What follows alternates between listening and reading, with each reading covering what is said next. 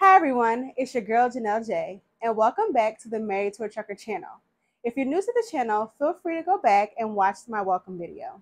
In this episode, we'll be answering the infamous question, are you ready to become an owner operator? So stay tuned.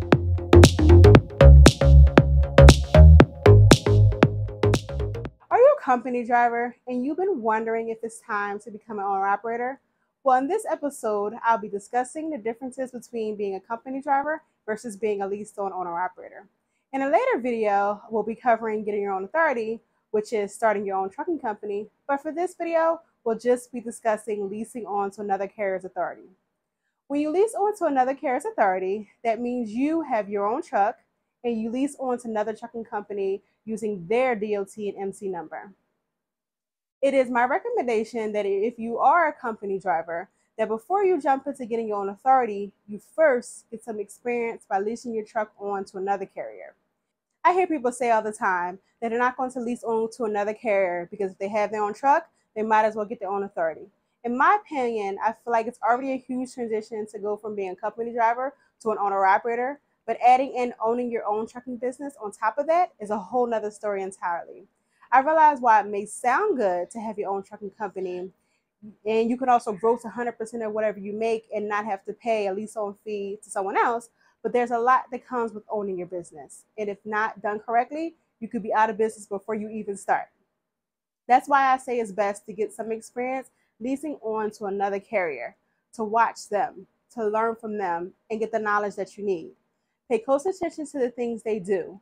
Um, it's a good time to get an understanding of the costs involved and basically what it takes to run a trucking company.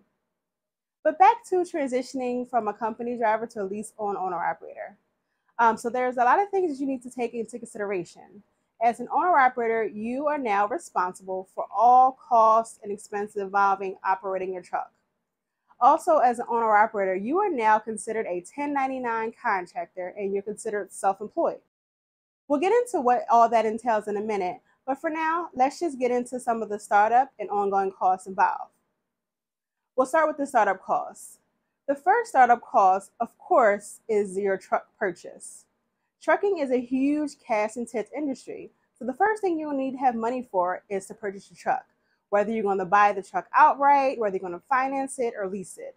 In many cases, you most likely will need a hefty cash investment on hand, whether you're going to buy a new truck or a used truck. And we'll get into whether, you know, it's better to buy a new or used truck in a later video. But for now, we'll just just know that you need anywhere from 10 to 20,000 for down payment for a truck. Number 2 is that you may need the upfront money to get your IRP plates or tags for your truck. Um, depending on your state, this cost can range you anywhere from 1500 to 2500 And sometimes, depending on the carrier you choose to lease onto, they may have a lease a, a plate program in which they'll cover the upfront costs and then it's just your job to reimburse them over a set period of weeks. But keep in mind, if you do purchase your own plates and pay that fee up front, those plates belong to you. So if you ever decide to switch carriers, you can take those plates with you. Number three. Number three is your 2290 fee um, that you must pay when you're operating your truck, which is the heavy highway use vehicle tax. Um, and basically, this is a tax that you pay to the IRS, and it's $550 a year. Um, and depending on the service that you use to file, they may charge you a fee to file, a third party may charge you a fee to file on your behalf, uh, but this fee is typically less than $50. Number four. Number four is the cost of truck insurance. Now, upfront insurance costs depend on the carrier that you leased onto. Uh, depending on the carrier, um, there are many different ways that they can have insurance set up. But in general, the carrier is responsible for adding you to their primary liability and also their cargo insurance. And then you reimburse them as you start to work. Other insurances like bobtail insurance, depending on the carrier, um, you may be responsible for attaining those on your own and also paying for any down payment that may be required. Number five. Number five is your trailer costs. Most of the time, the carrier will provide you with a trailer, However, if you want don't want the carrier to have to charge you this fee, whether it's like a weekly fee or comes out of their um, the percentage, it may be a good idea to take a look into getting your own trailer. Um, because you can control that cost, and when you ever decide to part ways with the carrier, you can take your trailer with you. Overall, it's ideal to have anywhere from 15,000 to 25,000 to get started on your owner operator journey. Now, let's move on to ongoing costs. Um, and what you'll notice is that some of the initial costs, they actually stick around even after startup. Okay, so the first ongoing cost is, of course, your truck payment, unless you purchase your truck outright. Um, if not, you're going to have a truck note, and truck payments can range anywhere from $1,000 a month to $1,000 a week or more. Um, and this can depend on if you finance your truck, if you leased it, um, the interest rate when you bought the truck, and of course, the cost of the truck itself. Another major ongoing cost is repairs and maintenance. Um, everyone knows this that you'll need money for repairs and maintenance. So you want to have a rainy day fund set aside to be able to cover these repairs. As the owner of the truck, you are now responsible for all these repairs. Um, you know, hopefully you do have a good warranty, um, but either way, truck repairs are going to cost you anywhere from $1,000 to $10,000 each and every time you go into a shop. And then, God forbid, if there was something major going on, like a engine you need to replace or something like that, the cost can range up to twenty to thirty thousand. So um, just be aware that these are some costs that you may have to pay for one day. Um, another thing related to breakdowns that people fail to consider is the downtime. The downtime is the silent killer. Um, because let's say your truck is in the shop for several days or several weeks, it can take time, especially if they have to order a part or if something's on back order, and that's time that you're not making money. Okay, another ongoing cost now that you have a truck is parking. Um, now that you have a truck and also maybe a trailer, um, if you are a local driver or regional driver, um, you typically have to pay to park in someone's lot if your carrier doesn't have a specific drop lot for you. Um, and then those costs can range anywhere from a couple hundred dollars a month. If you're over the road, then you're responsible for finding parking as you go, and you could potentially be paying for parking on a daily basis. Next is tolls. Tolls are something that you didn't have to deal with as a company driver, um, and you'll soon see how expensive tolls can be um, especially if you're running in the Northeast. So, some tips on keeping the tolls low is trying to take alternate routes that don't require tolls, um, use an E-ZPass or whatever toll transponder you have in your state. Um, but this will help reduce the cost and help keep your tolls organized so you don't have a bunch of invoices being mailed to your house. Another way to offset toll costs is to make sure that whatever rate you're getting paid is adequately compensating you for the cost of the tolls. Another ongoing cost now that you have your truck may be handling truck washes, scale tickets, and any other supplies that you may need. And depending on the carrier, um, some carriers do offer to pay for these for you or provide reimbursements. All of these ongoing costs I discussed are typically your responsibility and handled outside of your weekly settlement or paycheck that the carrier will provide to you there are some additional ongoing costs that are actually directly deducted from your settlement that the company takes out of your check. Um, and the first major cost, of course, is your fuel. Um, typically, the carrier you lease onto, they'll give you a fuel card just like you would get as a company driver. But the main difference is you're responsible for paying that fuel card back on a weekly basis because it comes right out of your settlement and fuel is going to cost you anywhere between 15 to 25% of whatever you gross. There are several other expenses that are going to be deducted straight from your settlement, including insurance, your IRP plates if the carrier paid for those up front, um, any ELD fees, your permits, your IFTA taxes, and so much more. Um, and we'll get into some of these terms in a later video. In addition to these trucking expenses, you'll also have to pay a lease on fee to the company that you're using their DOT and MC number.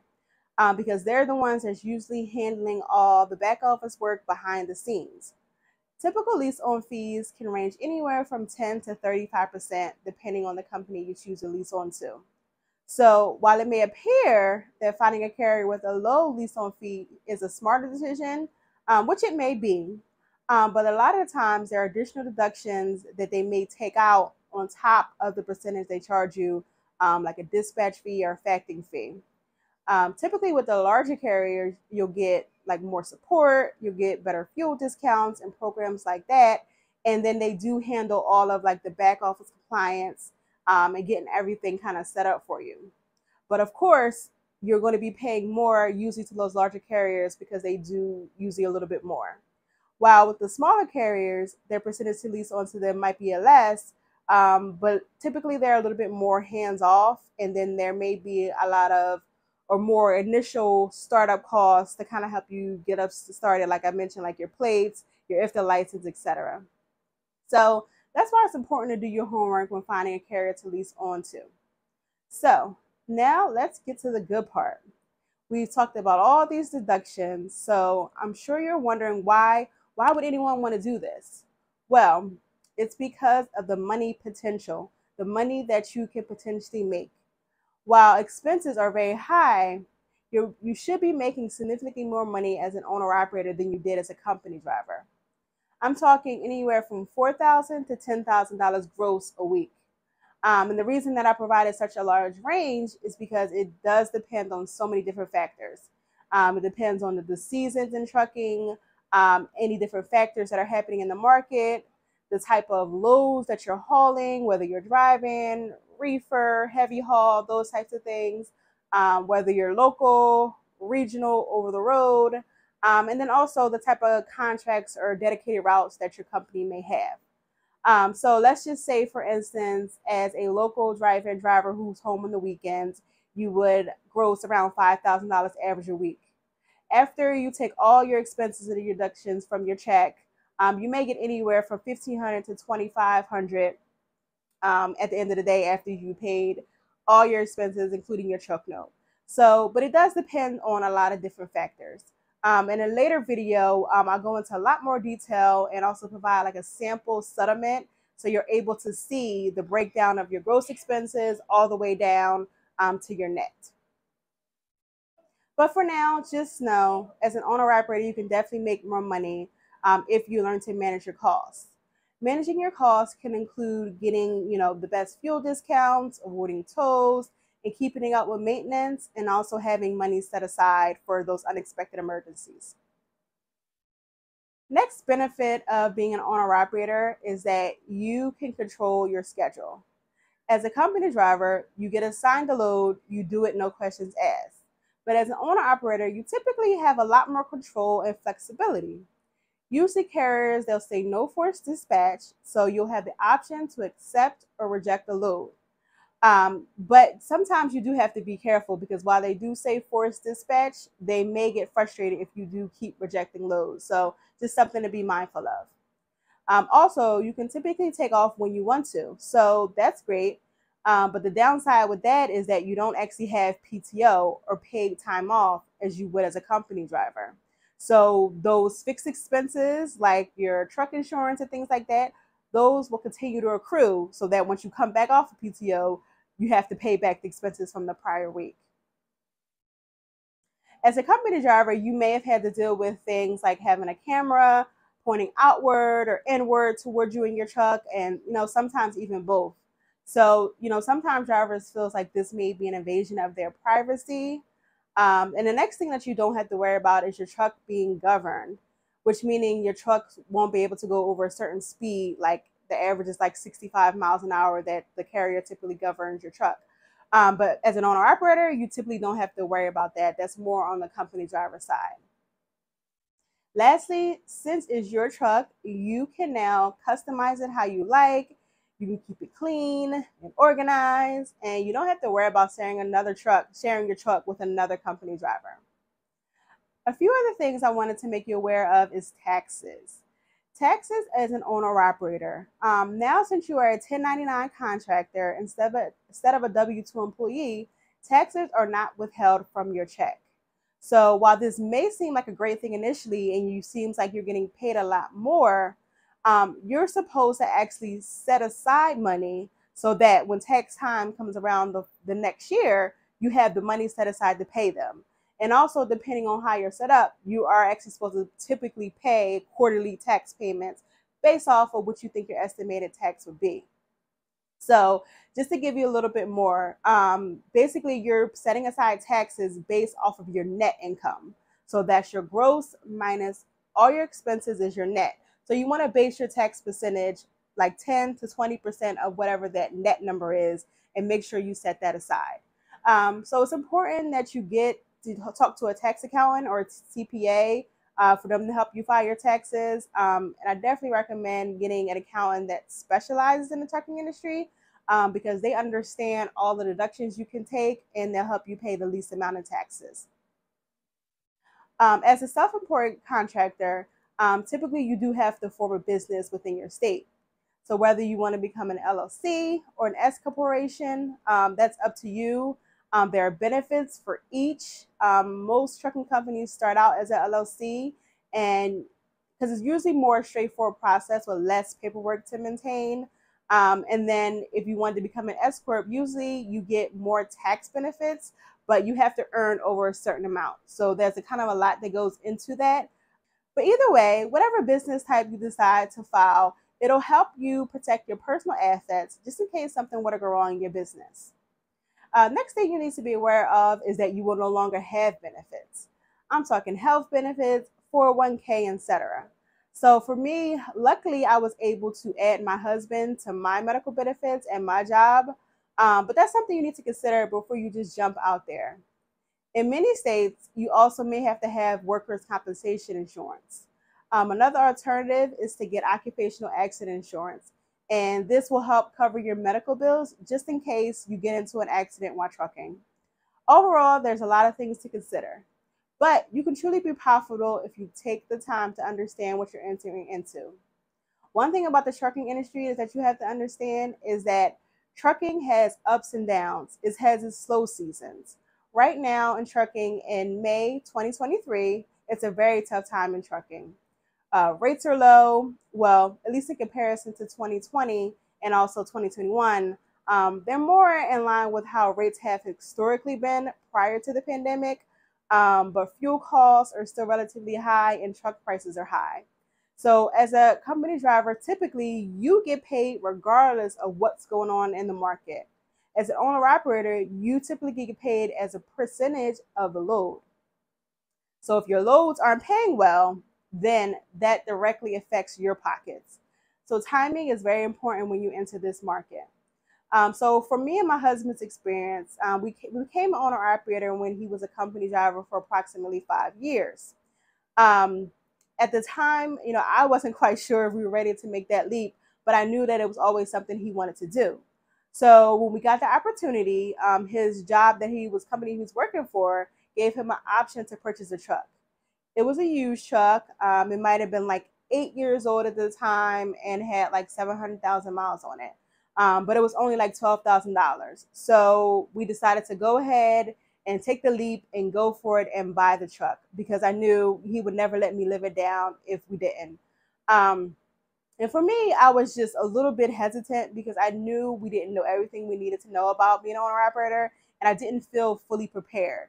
Um, but and also another thing is we pretty much spent the bulk of our savings to buy the truck so it really didn't leave much after that to kind of get started on our journey um, luckily the carrier that he was leased onto they had they provided repair loans and basically it was a low interest rate loans didn't have really real requirements and pretty much you just had to be a contractor with them to kind of get approved so we were able to kind of get some repair loans we needed to and that really helped us during that time. So I don't know without that support, I don't know we would still be in the game today.